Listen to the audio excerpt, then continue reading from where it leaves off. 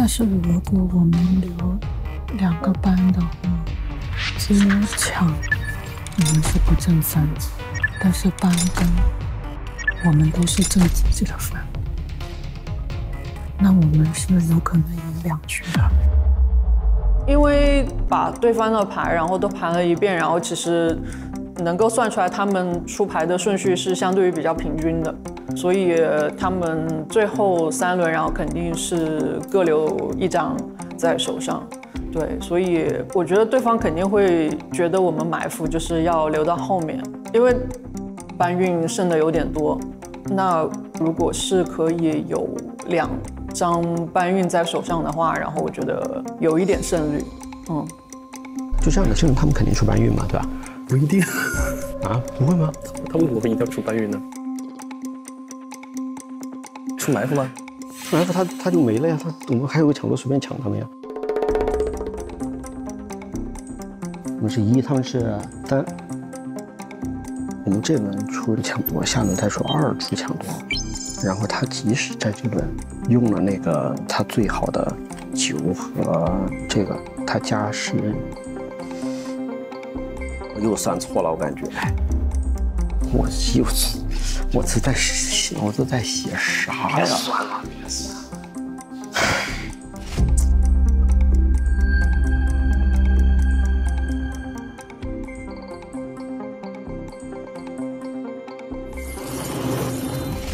红方抢夺，蓝方埋伏，蓝方获得双方的金币。你看啊，你看，去出埋伏，那反正赌嘛。哦哦哦要翻盘了。我觉得就算是拿少分，也是可以积少成多。嗯，不到最后一刻，还是不知道谁胜谁输。就是你想不到的东西，我出我才可能赢你。对，是不是被我说中了？啊？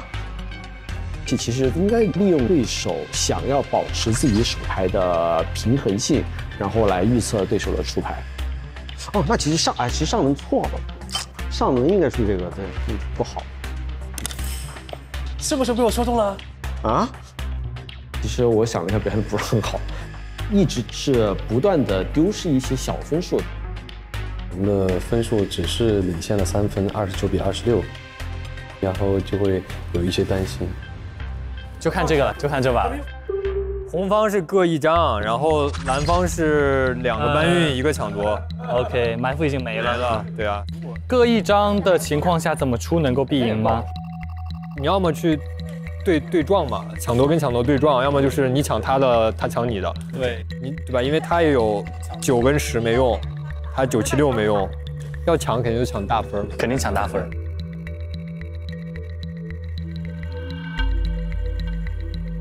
嗯，那我们先搬个大的喽。我们搬运自己的十呢？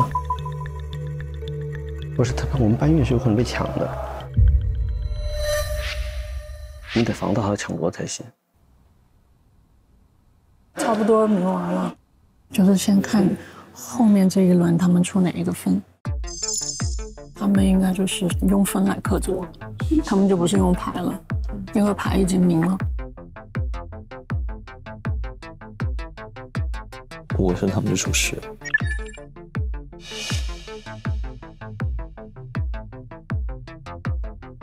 我们抽抢，他们弄一个埋伏，然后总共十六，他们用一个二，碰到我们的九，他们直接用五枪，我们很亏。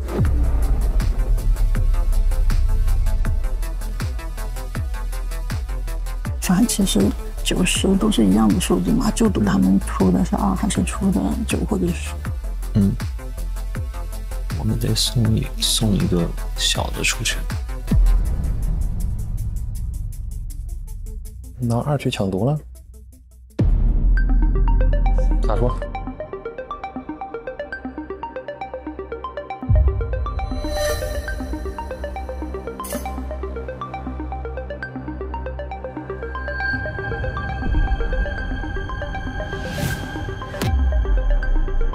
自觉，自觉，自觉。他如果出搬运，我们是抢多，他们等我们丢一个二，抢一个六七九，随便，你是合是赚，只要蒙对了，蒙的都都行。啊，对。如果我们把这个想到出了，他们如果还是出半月，我们只要没有防到他的抢夺，我们会失误。埋伏如果能对上对方的抢夺的话，那是可以得一个大分的。但是这个地方不抢到，那第九轮、第十轮是翻不回来的，其实很难受。不能这样啊，对，很容易自错的呀，对的。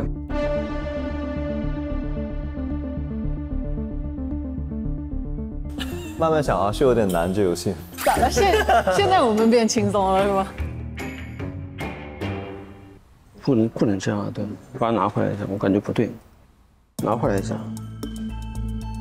算那么多没用，最后三轮明玩了。就出个大的呗，是吧？是这个意思哈。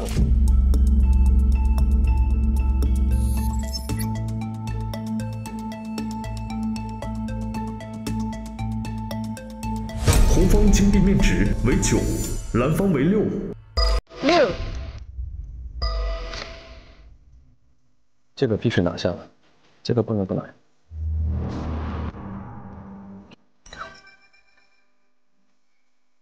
如果我们出埋伏，他如果抢夺的话，我能得，能得十五分。他如果去出搬运的话，他可以获得六分，然后我丢九分。接搬运，保险的，没有保险的。现在现在其实都不保，所有的动作都不保险。就是我们出搬运的话，这赌他不能出不出抢夺，他不抢夺难度完了。我们看一下，如果不同的情况啊，算一下那个结果。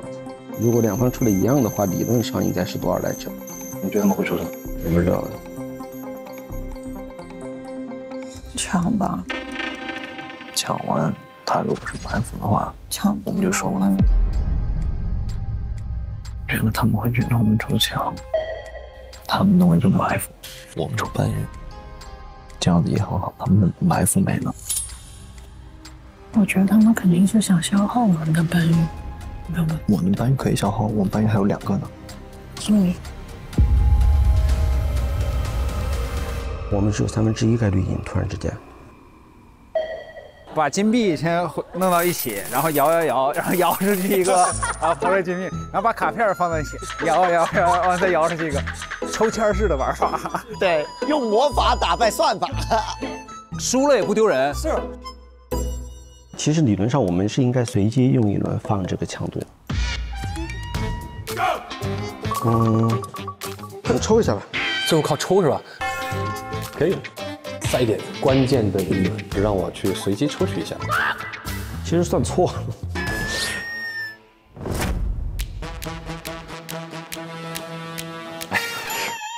来，